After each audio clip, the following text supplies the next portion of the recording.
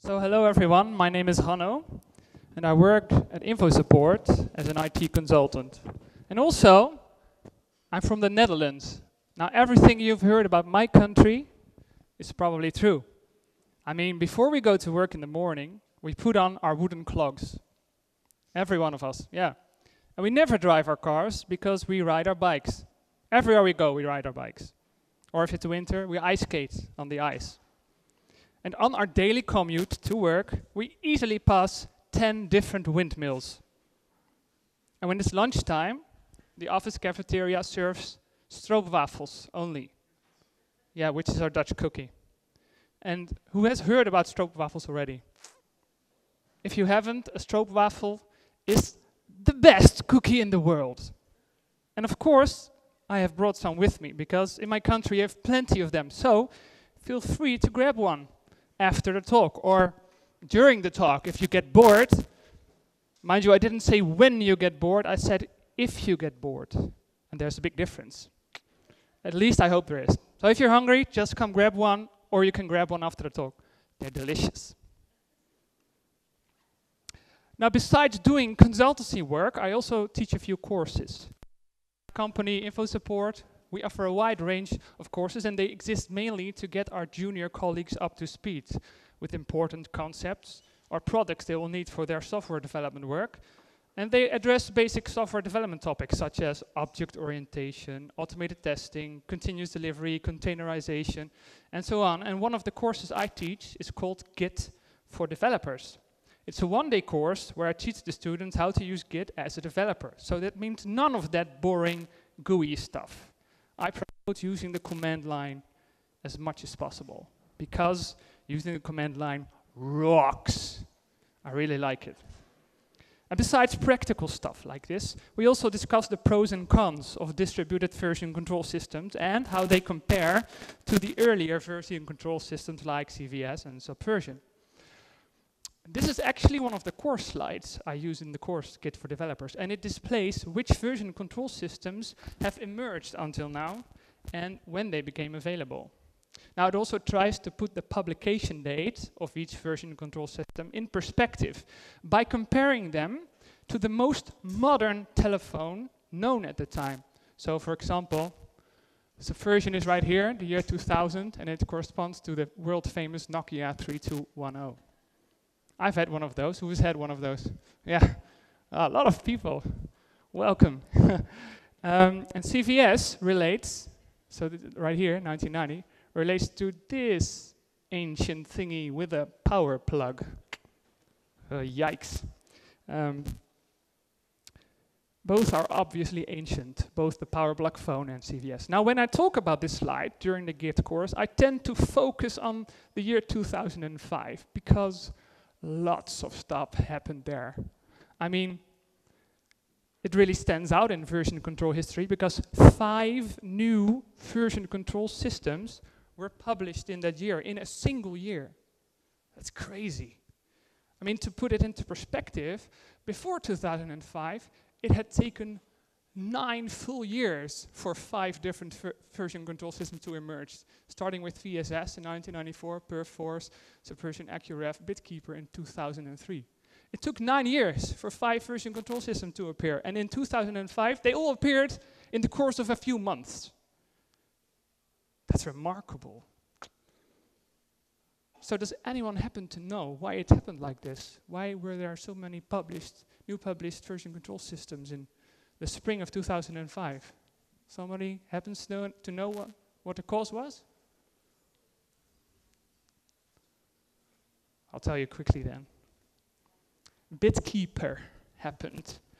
BitKeeper, which was the only distributed version control system at the time, went from an open source license to a proprietary license, just like that. So, it cost money.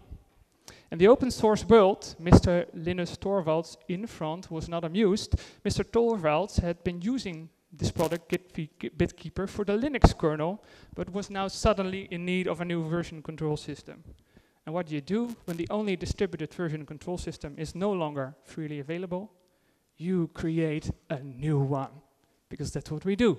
We create new systems. So in the aftermath of BitKeeper's licensing change, a lot of similar products were developed in a short amount of time, including of distributed version control, which later would become the Git system, as we now know. So I thought the year 2005 really stood out in this graphic. Of course, that doesn't really mean that everyone thought so. In fact, at the end of one particular course day, a student came to me with a question, and his question proved that he had noticed an entirely different thing than I had. He came up to me and said, You know, I like it, it's great, but what is going to be the next big thing? So I turned, on, turned around, I looked at the slide, and I thought, Huh, it's funny how it seems when you've made up your mind, you can't really look any further after you think you've got it all figured out. Because if you look at the chart and you look beyond what you have already seen, well, you'll see that nothing really interesting happened after 2005. It's like the version control world stood still or was on pause or something. So I turned to the student and turned him, told him everything I knew, that I was quite sure distributed systems like Git and Mercurial would be around for a while longer, but this wasn't a proper answer at all, because I didn't know what was going to be the next big thing. So afterwards, I felt really bad about not being able to answer his question. I had effectively told the guy that Git will probably be around forever, right? Even if I didn't phrase it exactly like that. So I decided to research the matter. And what started out as just simply finding an answer to a student's question turned into an investigation. And the investigation turned into a conference talk, which is the one you're all attending right now. So thank you for coming. Welcome to you all, and let's see if we can find the answer to this question together, shall we? And after we find out, I'll make sure that the student gets the answer as soon as possible. She's still waiting, so. Now, whenever I hear someone say that some product will probably be around forever, it immediately reminds me of this quote yeah, boy, was he wrong. If working in software development for almost 12 years has taught me anything, it is that change is the only constant. This idea has been valid in our industry for as long as I can remember. If you think about it for just a second, you can come up with lots of examples. Requirements change, priorities change, dependencies change. Have you tried updating your Java 8 application to Java 11 or 12? Dependencies change. Or if you work in front end, browser behaviors change. To me, this proves that industry change is the only constant. So no, it won't be around forever. Eventually, there will be a successor. The question remains, which one will it be? Which one will be the successor? Now, in finding the answer to this question, we obviously have to make a prediction. We have to predict which version control system will be popular in like 10 years. And throughout this talk, we will discover several important ideas that can be useful to our prediction. So I like to call these ideas prediction variables. And at the end of the talk, we will use these variables to make the final prediction. So we will, we will get to know them in a few minutes. And I think we can discover them quickly by gathering information on the current big thing and how the current big thing became the big thing in the first place. So, why did Git become so popular? Well, as you may already know, these are Git's main features. It's a distributed version control system. So like BitKeeper, you can commit very often, but you need to push all your commits only once. So it promotes offline work if you're uh, traveling or something. Uh, it's free and it's open source unlike BitKeeper, because that was the whole reason why it was developed. And it's fast. And Linus Torvalds himself, he said, everything you do, everything you ever do on a daily basis should take less than a second. So it is also optimized for branching. And in the subversion age, developers were a bit afraid of branching because it took so long. Branch in subversion is effectively making a copy of the directory. So it's it, it takes about as long as your operating system takes to copy the directory. And if it's a large repository, it can take a very long time. Um, so developers were a bit afraid of branching. And this was a very bad thing in a time where continuous delivery did not yet exist like we know today. So if you would do this today, you can just, you can even work with just one branch, a master branch, and each commit could be pushed to production in like 10 minutes. But in 2005, it didn't happen at all. So you needed branching. So Git was very welcome at the time. Now, when Linus Torvalds was asked why he called the new software Git, which is a British slang word for meaning a rotten person, he said, I'm an egotistical bastard, so I name all my projects after myself. First Linux, and now Git. yeah. He's a funny guy, Mr. Torvalds. Also, when he was developing Git, one of his guiding principles was WWCVS-ND, which is what would CVS not do? Which means, yeah, take CVS as an example of what not to do. And if you're in doubt, make the exact opposite decision. Now I think this can be our first prediction variable, killer features. And by killer features, I mean two things. I mean new features that have never been seen before, or features that have been seen before, but implemented differently. Uh, in a radically different way to dis distinguish it from its competitors. So Git is a good example of killer features because it was designed to be the opposite of CVS in many aspects. And branching got quick, so it's, that's a new feature. And it went and got popular. So I think there's lots of reason to use features as our first prediction variable. Now here's some information on how Git actually became the big thing. Now there's a lot of important information in this chart, so I'll point out a few details to you. For example, Git only got popular after GitHub was launched. And it got even more popular after Bitbucket supported Git. And it got most popular when GitLab was launched. So a lot of the popularity depended on hosting platform support.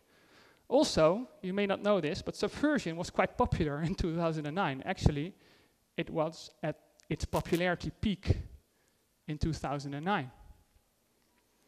It, this was four years after Git and Mercurial were released. Also after GitHub was launched.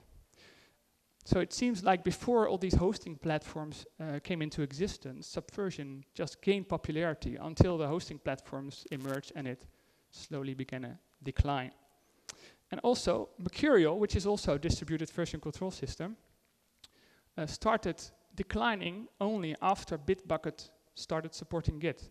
And you have to know for this one that Bitbucket supported Mercurial only when it started. So in this age, Bitbucket supported Mercurial, Mercurial, then it started supporting Git, and down went Mercurial. So, one thing I have to add is that all data displayed right here, they are all approximations. It's not the actual usage, because you can't really measure usage of a version control system. I mean, you can't see in everyone's computer, see what they have installed. It, this is very different to browsers. You know, in a website, you can just ask which browser is the user agent using, and you can you can, you can publish all kinds of market share charts, but in, with version control, this is simply not possible. So these are all estimates. It says so at the bottom of the chart also data from Google Trends, GitHub, Atlassian. So we're dealing with estimates. So any prediction we are doing based on these charts will also be estimates. I think what we can take away from this chart is that hosting support is a key factor in the of a version control system. So hosting platform support should be our second prediction variable. Let's introduce another one while we're at it. Your version control system may be supported by a hosting provider, but that doesn't necessarily mean that your hosting provider supports the open source community. Uh, lots of hosting providers primarily offer private repositories for free, not public ones. Well, GitHub changed that uh, a few uh, months ago. Um, but also, not all version control systems focus as much on open source development like Git does, for example. Because Git was distributed, uh, you could uh, work with all kinds of collaboration workflows like the Linux kernel is using, which is called Dictator and Lieutenants with private and public repos. This is really supportive of the open source community. Um, but not all version control systems are like that. So we have to consider this, open source. So let's now which as th at this early stage, I can only do this using one approach, extrapolate from incomplete data. After all, we know there are only two types of people in the world. those who can extrapolate from incomplete data. So let's take some existing data and extrapolate it. So let's return to this chart one more time. I have tried to uh, put the market share in 2009 of the various version control systems in a table, and I arrive at this, this one. So, so first top one, then followed Git and Mercurial, TFS and CVS. If we would um, draw the lines a bit further, so this one more up, this one a bit down, Subversion is declining a bit harder than Mercurial right now, and TFS and CVS are practically staying the same. This is what you get for 2019. Subversion is at 8%, Git is at 73, Mercurial just a bit declining, TFS is a bit steady, and CVS is, well, diminished. And if we do the same for 10 years later, extrapolate it again, I think you would something like this. No, no variables included in this one, it's just let's extrapolate the incomplete data. So subversion will decline a bit further, Git will just rise a bit further, and TFS will roughly stay the same. One big problem with this one. We haven't included any new products. So this first prediction is based entirely on existing products, and a lot can happen in 10 years. I mean, what if a brand new version control system appears and takes the market by storm? Now, this is exactly what happened during the browser wars, multiple times actually. So, when I was in college, I did a talk on the browser wars. And in this talk, I tried to predict what browser would be popular 10 years later. So, the talk that I did in college was quite similar to this one, apart from the fact that my slides back then looked very different. This was actually one of the slides I used. Uh, notice the date in the bottom left corner.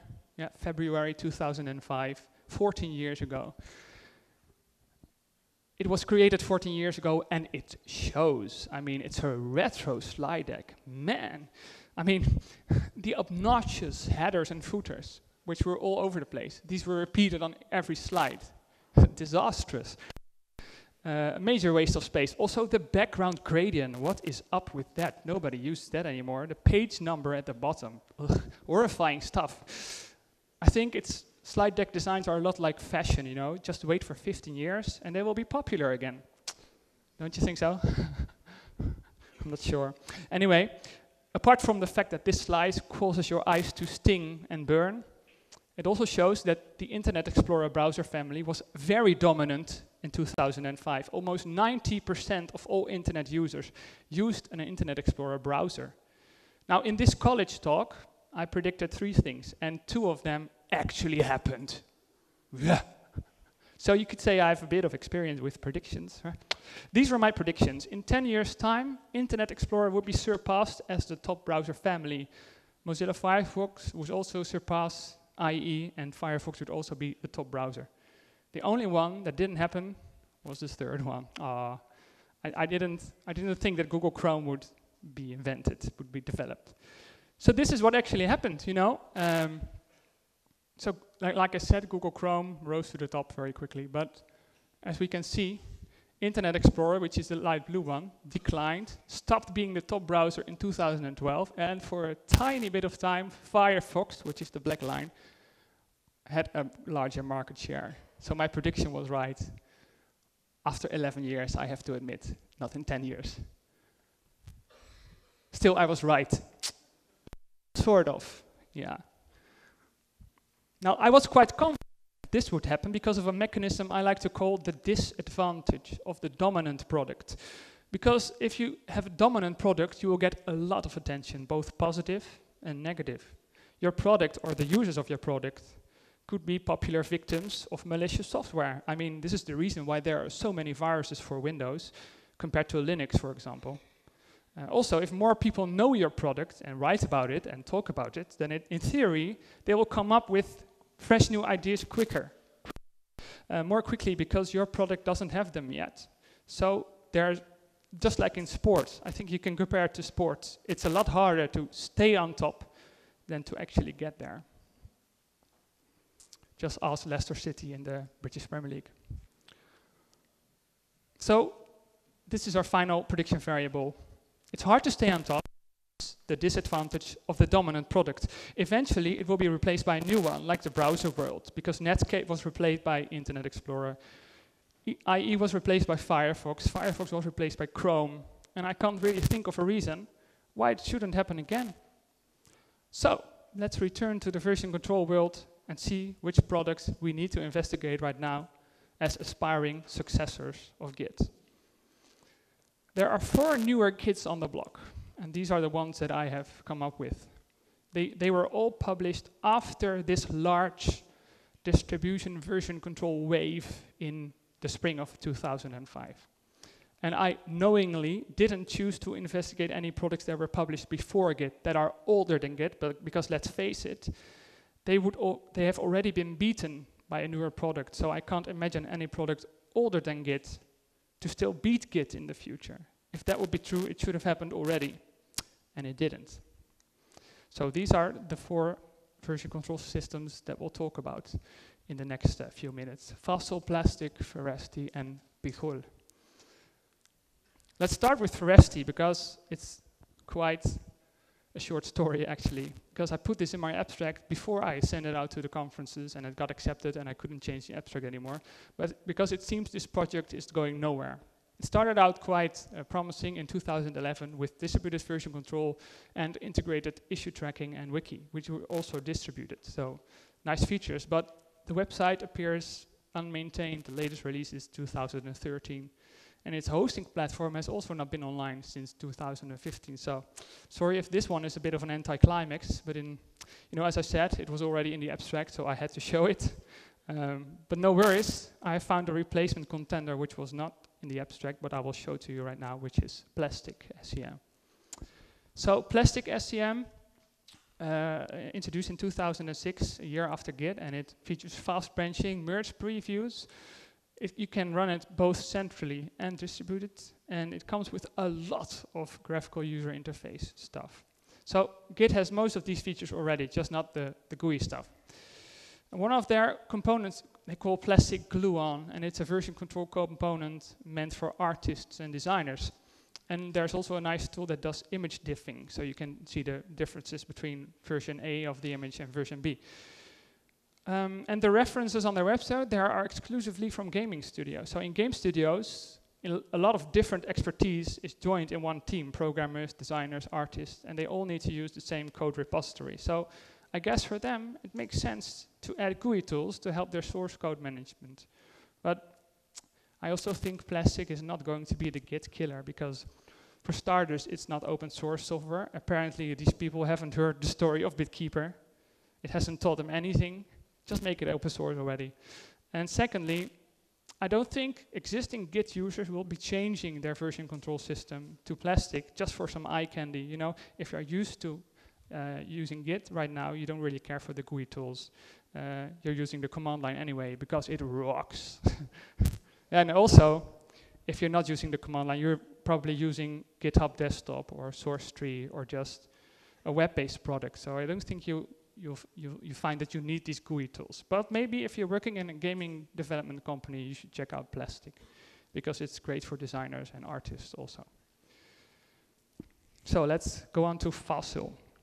This is one of the first more serious contenders. So it was published in 2006, and these are the features that it promises. So it's also a distributed version control, and it integrates bug tracking, wiki forum, and tech notes. And there's also a built-in web interface for viewing the repository and seeing history.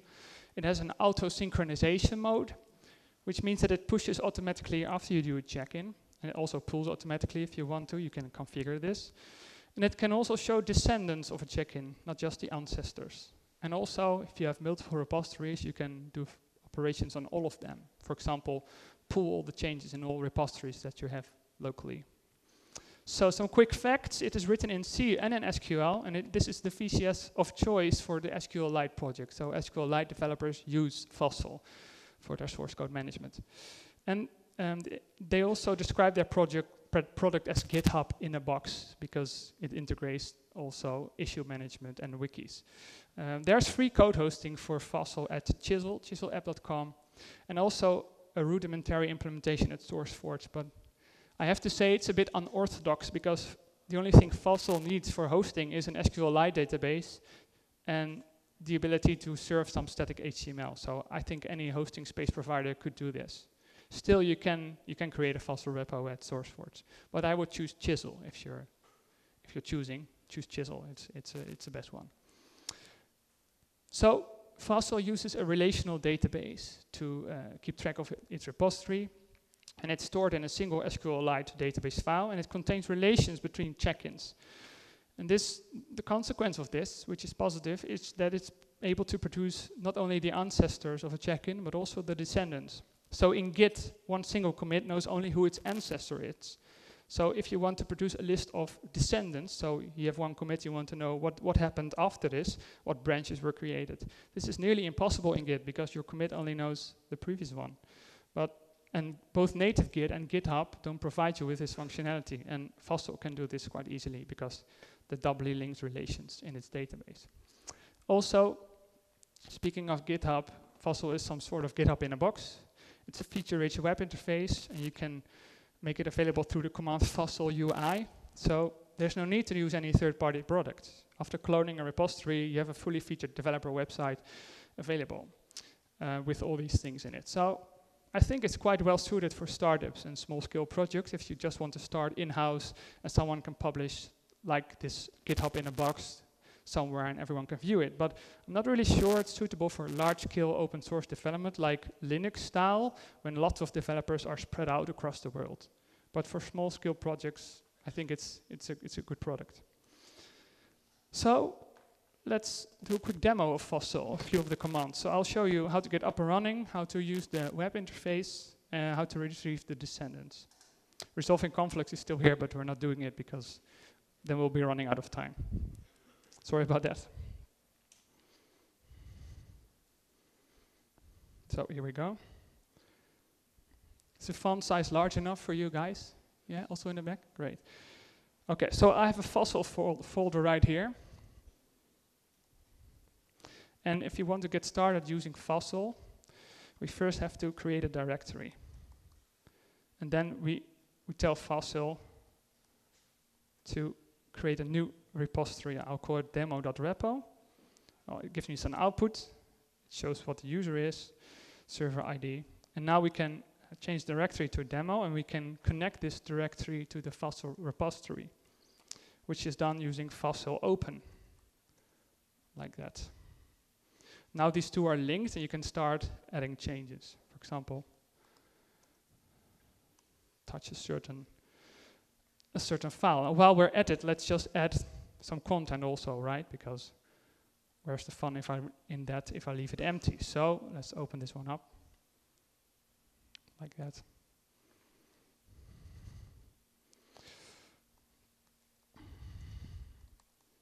This is also large enough, guys and girls, like that. So let's create a main method Everyone has done this countless of times, right? And let's just have it print out a random number.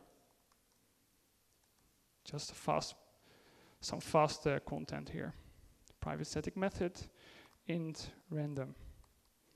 And the best way to determine a random number is by rolling a die, right? Guaranteed to be random. So let's roll it. What does it say? It says 2, so return 2. Great, we finished it. So let's run it. Wow, that's great, we got a random number. Yeah, so let's tell Fossil to add it to the repository, which is, we can just add it like this.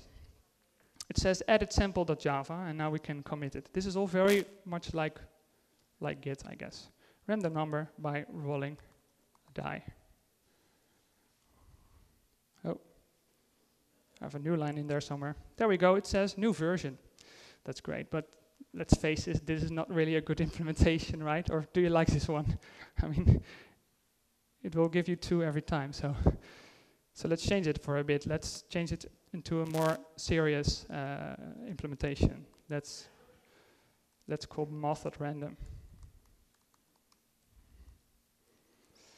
And then we have to multiply it by, I always get confused. I guess it's 7, and then we have to add 1, so that we get a number between 1 and 6. And we have to cast it to an int. Not getting into the details here, it's about version control, you know. And I could do another talk on how to, how to generate random numbers, uh, but not right now. Well, great, it says 1. Oh, it says 6. It really seems to be random. yeah, that's great. So let's ask Fossil what the status is. You can see that command also. It says this is the repository, this is the current checkout, Tr trunk is our branch right now. This, this is the last commit that we had. So, and sample has been edited, so we need to add that one again. Fossil add sample. Sample. And we can commit it again. It says skip, I'm not sure why. Fossil changes. I'm not sure why that does this. Fossil add dot. This also works. I'm not sure why. You get you get there if you start to use it. Random number by using math dot random. Here we go. This again. Here we go. Now let's view the Fossil UI, the web interface. Where is it?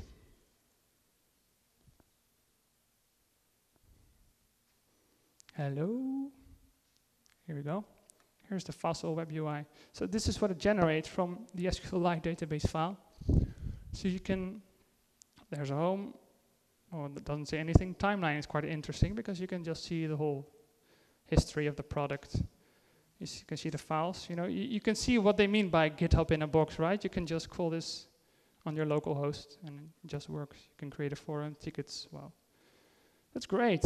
And you can also, if you choose a check-in, you can obviously just see what's in the check-in. If I do this one, you can see the differences. It's a bit small, but you can, can actually see it.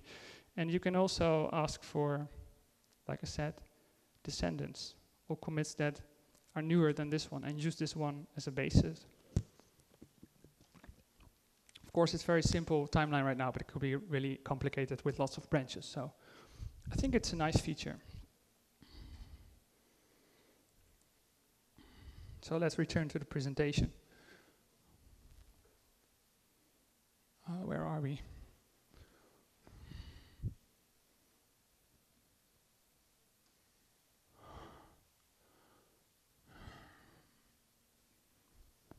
extend. It won't extend anymore.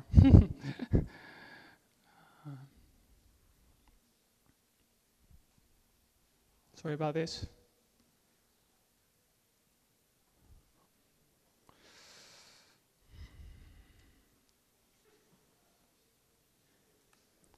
There we go.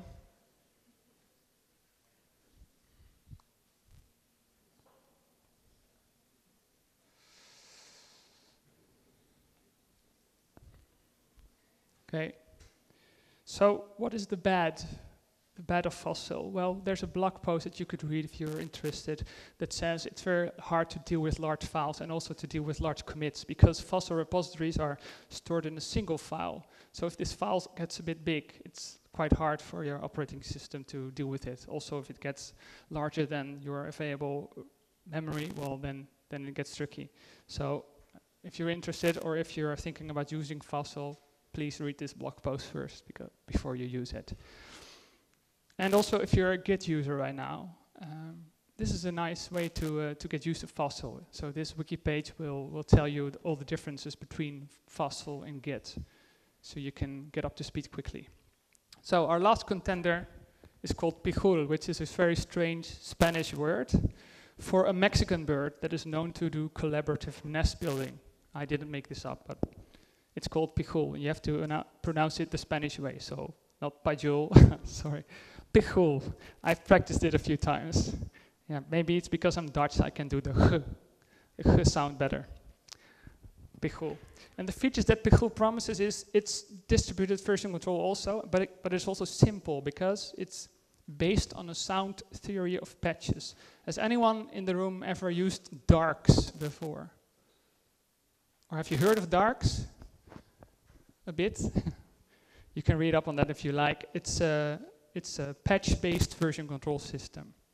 Uh, the difference between patches and snapshots like Git is that Git stores Git stores snapshots. So it's like um, various points in time how your repository looks. That's what Git stores. But a patch-based version really stores the differences. So like uh, files with little plus and minus signs in front of it. So if you ask Git what the difference is between the two branches, it will get these snapshots and compute the differences. But in Darcs and also in Pijul, this is just a patch file. It can just output a patch file and it's done. Or it could, could just output multiple patch files and combine. Um, it's a lot simpler to use because you don't have to deal with rebases or merge. You just deal with patches. It's also fast because one of the reasons Darcs never got popular is because it had major performance issues um, to, to, to put batches together, uh, really performance bottlenecks they were experiencing. So Pijul had some algorithms to fix this. And it also does a bit of interactive recording. I'll show this in, in a demo uh, quickly in a few minutes. So quick facts, it is written in Rust, which is one of the faster languages around because it's a low-level language, much lower level than Java, for example, and its performance is comparable to that of C++. And it's bootstrapped, so it means it is used for its own development since 2017. And there's also a free hosting platform, uh, which is called the Pijul Nest, which is at nest.pijul.com. So, a bit of theory about this patch-oriented design. It's a really full slide. I'll, I'll guide you through it. Um, so a patch is an intuitive atomic unit of work and it focuses on changes. Not, it focuses not on differences between snapshots because this is what Git does. And applying or unapplying a patch doesn't change its identity, it stays the same. Whereas if you do a cherry pick in Git, it will create a copy of the commit and push it onto a new range. So it won't be identical Functiona functionally it will be the same, but not identical. And the end result of applying several patches is always the same, regardless of the order. And it does this by keeping track of dependent patches. So this means if you want to merge something, but it's not really a merge in Pijul, you can just do Pijul apply, and it will be like a cherry pick in Git. But Pijul will uh, check the patch that you're applying and see which patches are dependent, and apply the rest of them also and they will be identical, so they won't change anything. There will be the same patches all over again. Takes some getting used to, but it's a bit simpler than how Git works. So let's do a quick demo again. I'm not switching screens right now. I've learned my lesson, so I'm just gonna do it right there. Oh, we still have a, here we go. So let's return, let's go to the Pijul folder. There's nothing in it right now, so let's create a repository, which is done using init. Here we go. Then we go into demo, we can just ask for status, for example. This looks quite a bit like the git output, nothing on branch master, nothing to record, except for committing is not called committing, but recording. So let's create a Java file again, and we'll open it in uh, um, in our uh, in our code application. Oh, now it's going to open IntelliJ. That's that's going to take a while. I'm not waiting around for that one. So I'll just copy and paste the version that we had.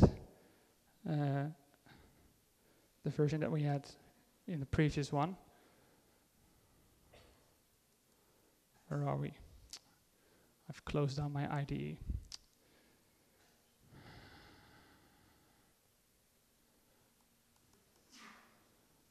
I can't get it back. Um, I'll just I'll just create an empty file and put something in it with VI because we're running out of time. We don't want that, so let's just put some text in here. Oh, how do I get out of VI? we all have this problem, right? oh, look what I did there. Oh, I wanted to type git. Oh, let's just wire it into my brain. There you go. So it says untracked files, so I can just edit. Pijul with one L. There we go. And then we have to hit record. And this is the one I want to show you because this is a nice feature, I think. This is called interactive recording. So if you record, you can choose which elements to add. So in Git, when you modify uh, a file and you add it to your commit and you commit it, uh, and you modify it again, then you have to add it again. Like that, you can separate different changes. In Pijul, it will just ask you, do you want to record the addition? I can say yes, which is the Y. I can say no. I can say uh, no to everything, which is K, all kinds of option. I can also add it to the ignore list with the I if you want. For now, I'll say yes. Uh, do you want to? Yes, I also want this. I'm not sure why it keeps asking me this. Oh, because I, I, I wrote a different letter. And do you also want to record the change that you did? Well, yes, of course I want to. What's the name of this patch? Add a file. It's not really, really ground-shaking material, but here we go. It recorded the patch. So I really like this interactive, interactive uh, edition uh, facility. I think it's nice. So let's let's wrap it all up for a bit. Here we go.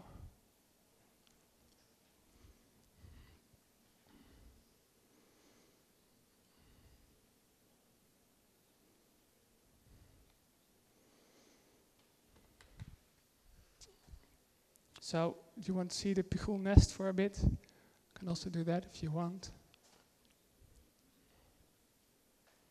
Open link. Can we do that? We can. So this is also like, this is the hosting platform for Pijul. It shows you your files, and you can show your list of patches. It's also a bit like GitHub, actually. And you can see what happened in the patches. So it's a nice system, I guess. You can see the branches and uh, what changed. So, of course, there are some bad things. People who used Pijul on a daily basis said the usability should be improved a bit because a lot of operations feel like it's the first implementation. It should be uh, it should be improved a bit for for uh, usability. Uh, but if you're switching, there's also a good guide for Git users. So read this before you start using it, and you will get it quite quickly. So we've got about three minutes for predictions. So let's try to do it.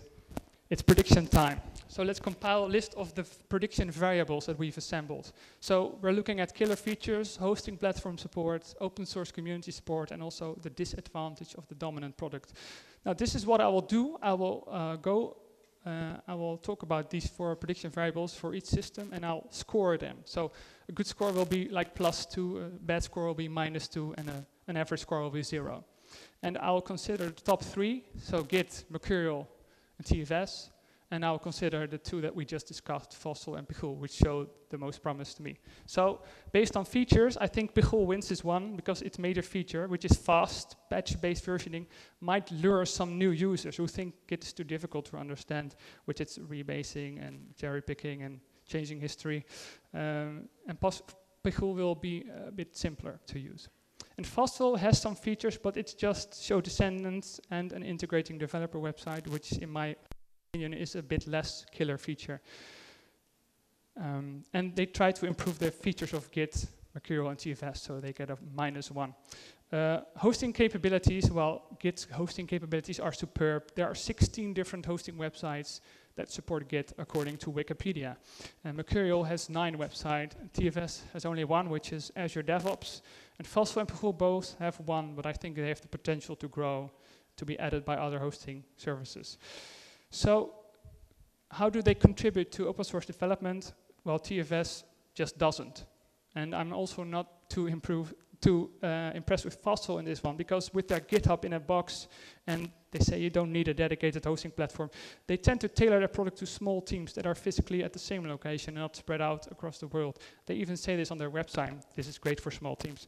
That's not the best support that open source development can have. And Pijul shows some potential with the Pijul Nest, but it needs to be, it obviously needs to be, be a lot more popular in the future. So I gave them a plus one.